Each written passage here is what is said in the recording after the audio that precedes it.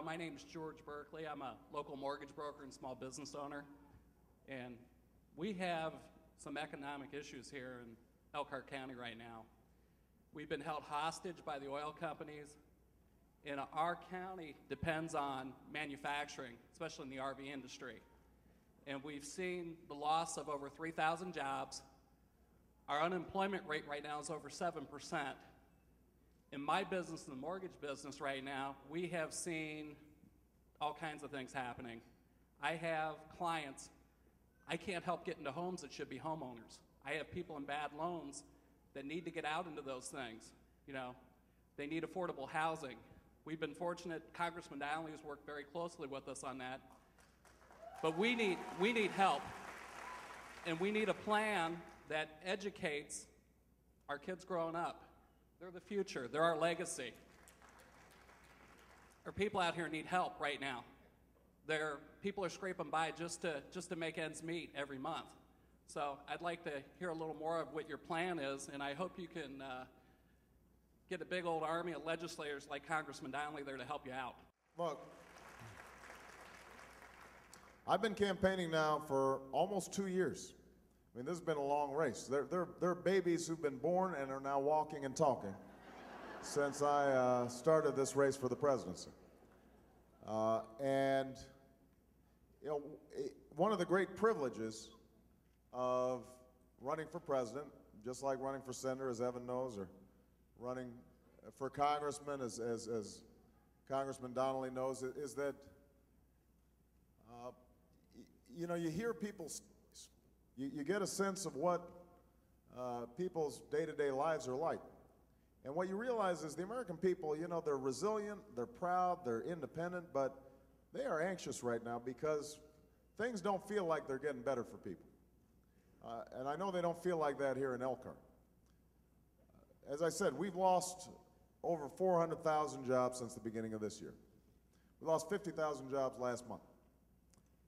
Uh, wages and incomes were actually flat even when the economy was growing. So when the economy was doing better, people still weren't getting more money in their pockets. At the same time as costs were going up, so it was harder to save, harder to retire, which meant people were maxing out on their credit cards.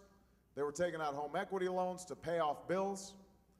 Heaven forbid they might get sick, in which case bankruptcies were skyrocketing, and then the housing market contracted, partly because the federal government did not oversee the, the lending process as effectively as it should have. We weren't cracking down on predatory lending. The subprime market got out of hand. And now, not only are we seeing more foreclosures than at any time since the Great Depression, but even people who actually have been paying their mortgages and have been very responsible. Home values have declined so much that some people have mortgages that are now higher than what the house is being valued for. So, so we've got huge challenges. Now, short term, here's what I, I think we have to do. I already mentioned we need an additional stimulus package that provides some immediate relief to families to, to cope with these rising costs. We also need, I think, to start investing in some fast track infrastructure work. We need to start rebuilding America, rebuilding our roads, rebuilding our schools, rebuilding sewer lines and bridges and water systems. And we could put people back to work right now who many may have been laid off of construction jobs or other manufacturing work. And not only would that create immediate job growth, but it would also uh, spur on more economic activity for people who supply uh, contractors. You know, some, uh, you need cement, you need steel, you, you need big machines. And, now suddenly that can help to kickstart the economy. So that's short term. Uh, long term, though, there are a couple of steps that I've already spoken about, but I, I just want to reiterate. We've got to get a handle on energy. Understand this energy situation is not just a gas price problem, it is also an opportunity for us to create an entire new economic engine. If we're investing $15 billion a year in plug in hybrid cars, suddenly cars are being made here in America that uh, will reopen factories that have been shuttered. Suddenly, steel plants, we can start reopening building wind turbines or solar panels. All those, you know, Indiana's uh, uh, a agricultural state like my home state of Illinois next door, we could uh, invest in alternative energy and biofuels in a way that helps to spur on rural economies all across America, particularly in the Midwest.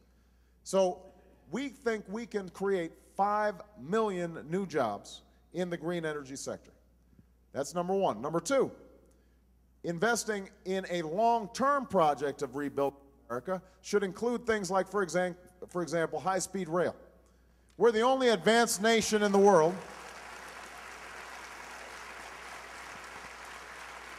We are, we are the only advanced nation in the world that does not have a serious high-speed rail system. All we've got is one along the Northeast Corridor. But imagine if we were connecting St. Louis, Indianapolis, Chicago, Detroit, Milwaukee, uh, you know, Dayton, Columbus.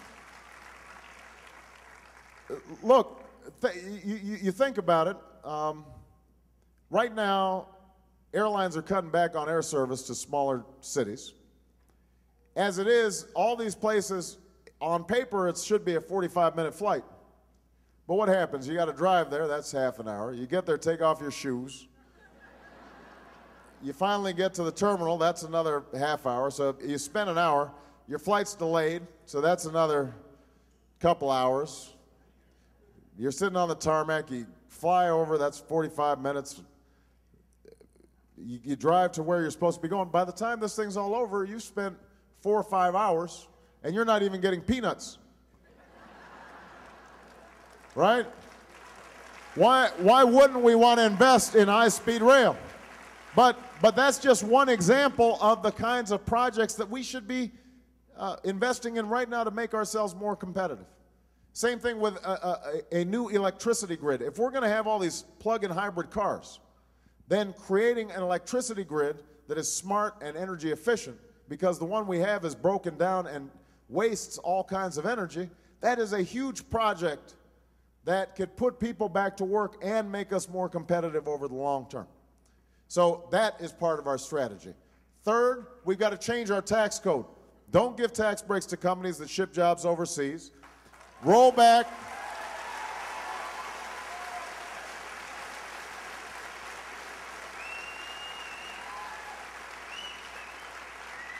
Roll back, roll back the Bush tax cuts on the wealthiest Americans and give those tax breaks $1,000 per family year, per year to middle class families and working families that really need some relief.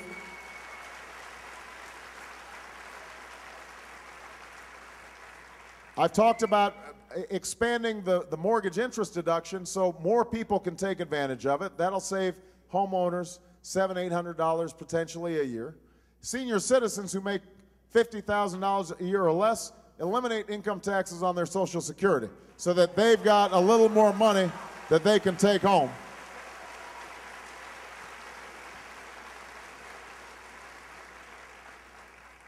All right, so, so infrastructure, investment, energy, uh, getting our healthcare system straight.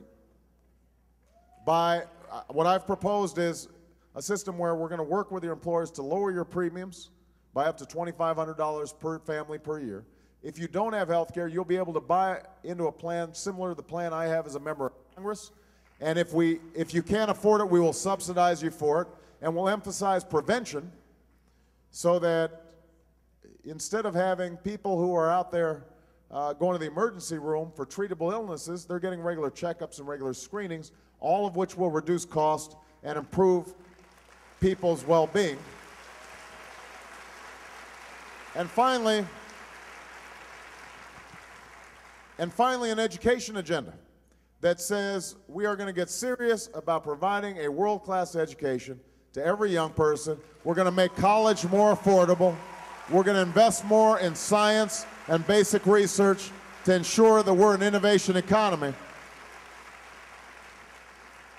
We're not going to be able to do all these things at once, but if we get started on each of these tracks now, then 20 years from now or 10 years from now, we can look back and we can say, we put America on the right track.